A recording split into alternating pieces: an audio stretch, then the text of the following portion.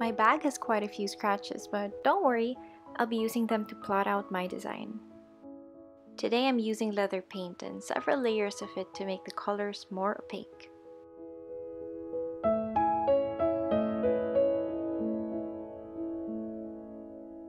Just like this bag, scratches and scars, they don't necessarily mean that something is broken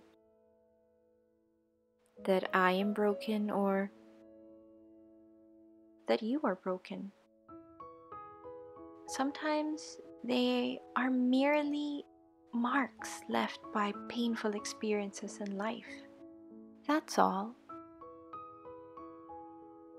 They can actually make us believe we are worthless, broken. But then they can also force us to take a new direction in life or decide to change.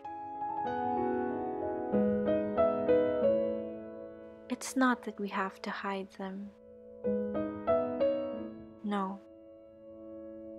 To truly bloom is to accept that they are a part of us, but that they will not define us.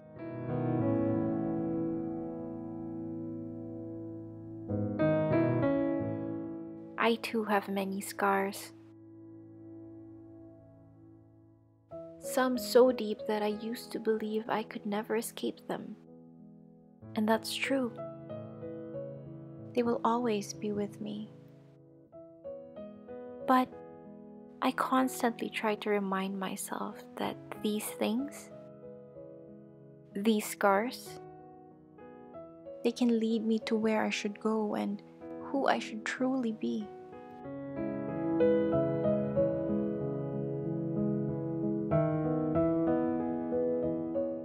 And eventually, these scars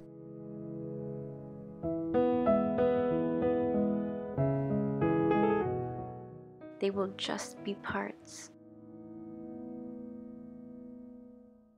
of the masterpieces that are you and me.